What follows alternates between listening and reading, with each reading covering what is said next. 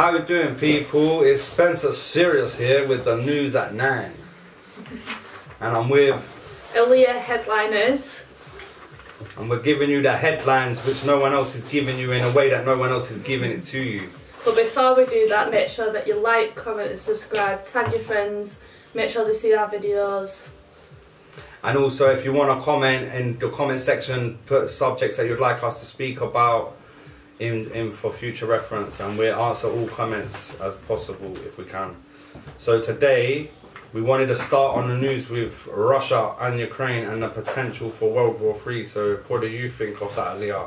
Does this bother you at all? You think that they might this could be the start of a third world war? Potentially, yeah, I do think so, because I know that we've learned just recently that Russia actually has masses of troops. I think it's about 150,000 people. They're around Ukraine right now waiting to get ready. They're just waiting on a signal from the troop leader or whatever to Putin, Yeah. Putin, the leader of the Russian army and the Russian country. want to be Hitler. Maybe could be the next Hitler. Who knows? You never know. This this is what we're talking about here. We could be rolling into World War Three, people, and these are the important things that need to get spoken about. And we're going to put some videos up now from Russia and um, Ukraine.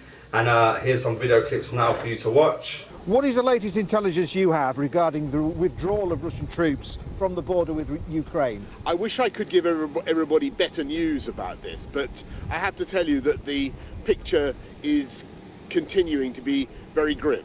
And t- today, as, as I'm sure you've already picked up, uh, a kindergarten was shelled in uh, what we're taking to be a, uh, what we, we know was a false flag operation uh, designed to uh, uh, to discredit the Ukrainians. Uh, des- now and listen out for the NATO Secretary General. just met to address uh, Russia's continued military buildup in and around uh, Ukraine. This was a substantive um, discussion on the most serious um, security crisis uh, in Europe in uh, decades. Allies welcome all diplomatic efforts, and there are signs from uh, Moscow that uh, diplomacy could uh, continue. But so far, we do not see any sign of de-escalation on the ground. No withdrawals of uh, troops or equipment. This may, of course, change.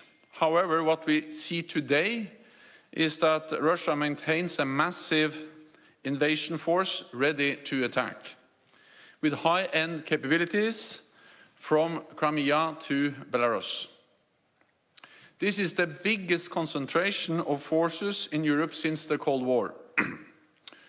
From the start, NATO allies have made clear that further Russian aggression against Ukraine would have a high cost.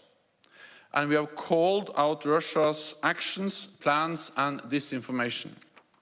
What we're doing is making sure that we do everything to strengthen the package of sanctions that will follow immediately should there be uh, a Russian invasion. We're strengthening the eastern frontier of, of NATO, and I'll be going to, uh, to the European Security Conference in Munich uh, a little bit later on uh, over the weekend to, to talk about what we're going to do to, to unify the West. Are you having to rush forward your ban on tier, tier one visas, these so-called golden visas, because you're worried about a rush of applications? I mean, is this, a, is this a sign of a crackdown on Russian money in the UK? I think it's very important that we uh, address all the issues that we can as fast as, as we can, and uh, we have already some very tough laws on, on money laundering, on uh, people uh, laundering ill-gotten gains here in the in the UK. Uh, but clearly, uh, it's time to, to bring in some tough sanctions against the the Russian regime, against uh, big Russian uh, companies, organisations of strategic importance, and also making sure that we uh, we inter- we stop the raising of funds by Russian companies on London financial markets. That's a very very tough sanction that we'll be uh, we'll be bringing in. What we also need to do, and I'll be saying this, and I've said this before, we've got to end uh, the dependence of, uh, of the West, of Europeans in particular, on Russian hydrocarbons. We can't be blackmailed in this way uh, by Vladimir Putin. It is not too late uh, for Russia to step back from the brink of conflict and choose the path of peace. NATO has sent concrete written proposals to Russia on transparency, risk reduction, and arms control. We have yet to receive a response. I reiterate my invitation to Russia to meet again in the NATO-Russia Council. NATO will not compromise on core principles. The right uh, of each nation to choose its own path and our ability to protect and defend all allies. We have already enhanced our deterrence and defense with more troops, planes and ships and high readiness of the NATO response force. These steps are defensive. NATO is not a threat to Russia. We do not know what will happen in Ukraine, but the situation has already demonstrated we face a crisis in European security.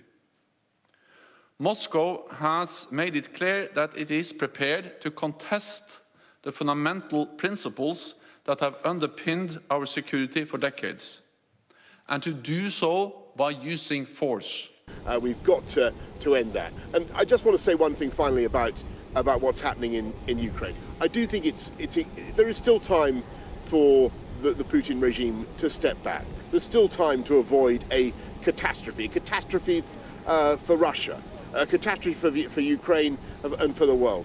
And uh, that is that if Russia were so mad as to invade, I don't think people should imagine that this will be a brief uh, business. This will be a bloody and protracted conflict in which I'm afraid that uh, there will be many casualties, uh, and including many Russian casualties. And, uh, I, I just hope that people in Russia can see that for what serious. it is. And um, so, what do you think about them videos, guys?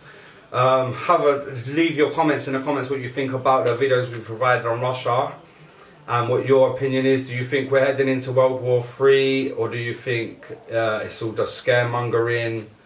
I'd like to hear your views, and I'm sure Leah would love to hear your views as well.